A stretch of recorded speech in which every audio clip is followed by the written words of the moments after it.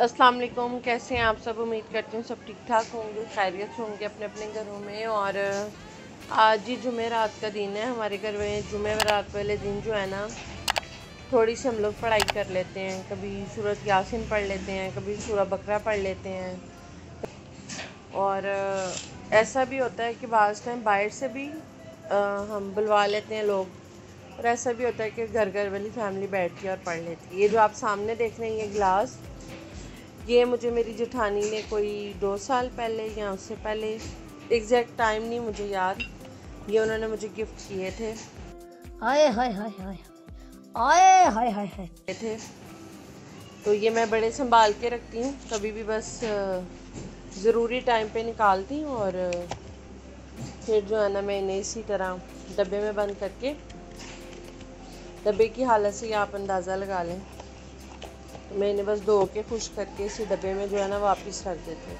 आप अपने लिए लाख चीज़ें बाई करते हैं, लेकिन जो आपके गिफ्ट्स होते हैं ना, वो आपके बहुत दिल के पास होते हैं। तो इसलिए ये मेरे भी बहुत दिल के पास तो चलें, इसको रखते हैं, फिर मिलते हैं आपसे। अच्छा जी तो ये दिन है जुम्मे का। जुम्मे की नमाज़ वगैरह से फारिग हो के इस वक्त मैं बना रही हूँ अचार गोश्त। पक रहा है अभी दही में ना। तो बच्चे इस वक्त गए हुए अकेडमी पहले मसाला मैंने अच्छी तरह भून लिया घी में, फिर उसे मैंने पाँच मिनट का प्रेशर दे दिया ताकि सारे प्याज, टमाटर अच्छी तरह गल जाएँ, अदरक, लहसुन डाल के। फिर मैंने गोश्त को मैरिनेट करके एक घंटा पहले ही रखा हुआ था, बल्कि एक डेढ़ घंटा पहले ही ना। मैंने दही में भी गो के गोश्त को रखा हुआ था। अब मैं इसको पका लूँगी ऐसे।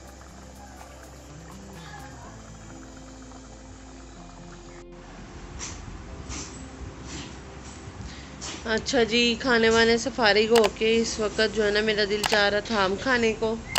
तो मैं अपने लिए मैंगो काट के लाई हूँ वो खाऊँगी। वैसे तो मैंने सोचा था कि मैं आम सिर्फ़ सत्तर ग्राम खाऊँगी लेकिन ये हो नहीं सका मेरे से। तो मैंने पूरा आम काट लिया और मैं यही खाऊँगी अब ठीक है? तो ये छोटी सी जो है ना, ज़िंदगी है इसको, मज़े करें, मज़े मज़े। तो चले, आम खाते हैं और साथ में आपको अपडेट दूँ। आज मैंने जाना था जी वैक्सीन लगवाने, जो कि मैं नहीं गई। शायद अभी चली जाऊँ, कोई पता नहीं है। अगर गई तो आपसे शेयर करती हूँ। कौन है ये लोग? कहाँ से आते हैं ये? अच्छा जी ये नेक्स्ट डे का व्लॉग है। ये अभी अभी मुझे पार्सल रिसीव हुआ है। कोरियर कंपनी की तरफ़ से और इसमें मिस रोज़ के प्रोडक्ट्स हैं जो कि मैंने अपनी नन के लिए मंगवाया है। लिपस्टिक पैलेट ठीक है? तो ये भी अभी मुझे रिसीव हुआ है जी वहाँ से। ठीक है? अभी मैं आपको खोल के भी दिखाती हूँ इसमें। कंट्रोल कंट्रोल तो जी पैकिंग मैंने खोल ली है और ये वो कलर है लिप कलर पंद्रह लिप कलर हैं ये जो मैंने मंगवाए हैं और ये मैंने मिस रोज़ की साइड से मंगवाए हैं वेबसाइट से. ठीक है जी? ये क्रीमी शेड में होते हैं, बहुत प्यारे, खूबसूरत लगते हैं, लगे हुए. और ये मैंने अपने लिए कंसीलर मंगवाया दोबारा मैं पहले भी इनका यूज़ कर रही हूँ, मुझे ये अच्छा लगा है तो मैंने अब भी इनका यही मंगवाया लिक्विड कंसीलर है मिस रोज़ का. एवरी कलर है वाटर प्रूफ है ये. नज़र आ रहा है। ऑयल फ्री है और वाटर प्रूफ है। ठीक है जी? फाइव एम का ये है। ये मुझे मिला है टू फिफ्टी का। ठीक है जी? और ये मिस रोज़ का प्रोफेशनल मस्कारा है। ये क्लेम करते हैं जी, ये लॉन्ग लास्टिंग है काफ़ी और ये आपके आई को काफ़ी अच्छे से वॉल्यूम दे देता है। तो मेरी आई और आँखें ज़रा छोटी छोटी हैं तो मैंने कहा ट्राई करके देख लूँ, क्योंकि फ़ेक आई जो है ना, वो मुझसे लगती ही नहीं है। मतलब मैं लगा लूँ तो मुझे ऐसे लगता है जैसे मेरी आँखों पे कोई चीज़ मैंने रख दी हो। तो ये थी मेरी शॉपिंग जो मैंने आपको दिखाई तो चले मिलते हैं फिर आपसे बाद में।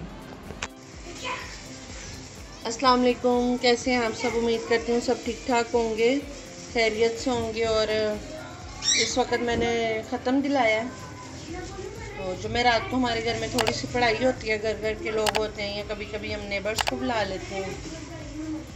तो एक जो छोटी सी महफिल है ना उसका अरेंज कर लेते हैं। तो ये बस ये जो आप देख रहे हैं ये उसी की तैयारी चल रही है।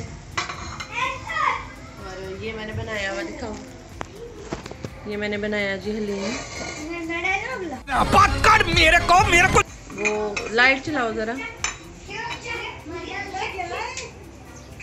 ये मैंने हलीम बनाई हुई है।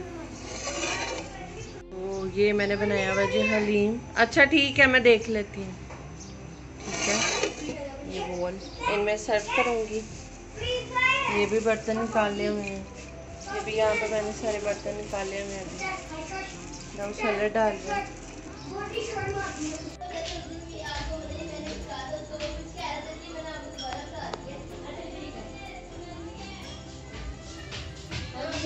आ रही हूँ एक मिनट ठहर जो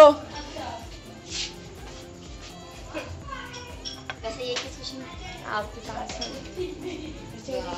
अच्छा। जी तो ये नेक्स्ट डे का क्लिप है। हलीम वगैरह मैंने कल बांटी थी और जो मैंने आपको दिखाई भी है। दाल नाल मैंने बांटा था वो मैंने बांटा है मिट्ठू इस वक्त अपनी बातें कर रहा है साथ में बना के लाई है चाय और मैं आपको मिट्ठू दिखाती हूँ।